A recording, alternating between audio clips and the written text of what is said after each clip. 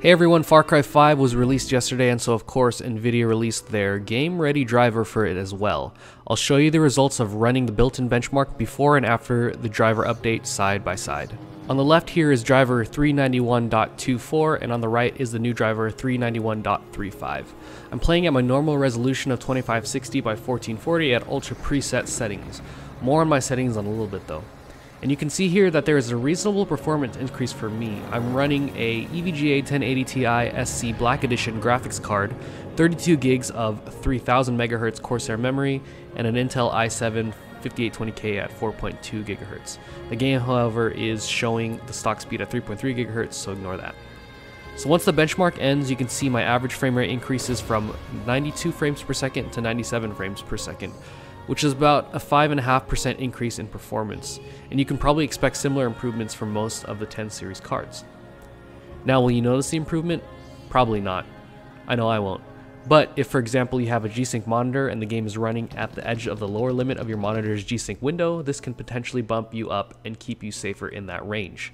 Or similarly, if you are running 60Hz monitor and the frame rate sometimes dips below 60 frames per second with your settings and you'd prefer not to sacrifice graphical settings stay above 60 FPS, then maybe this driver might help with that.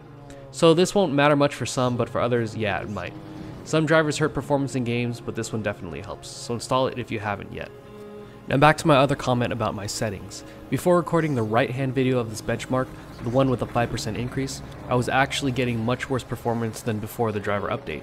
After about 10 minutes of panicking that I'd installed a faulty driver or that I messed something up, I noticed that Nvidia decided to automatically pick the quote unquote best graphics settings for me and thus bump the resolution scaling up from 1 to 1.2 for me.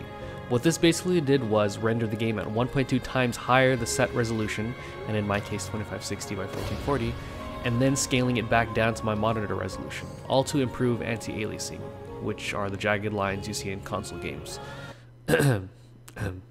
anyway, here's how to change that if you also notice a performance decrease and you're not sure why. In Options, you're going to go to Video, and then you're going to click on the rightmost icon with the gears titled Advanced Settings. And at the bottom, you'll see resolution scale, and you're going to hit that left arrow until it goes down to 1 if it's anything above like it was for me at 1.2.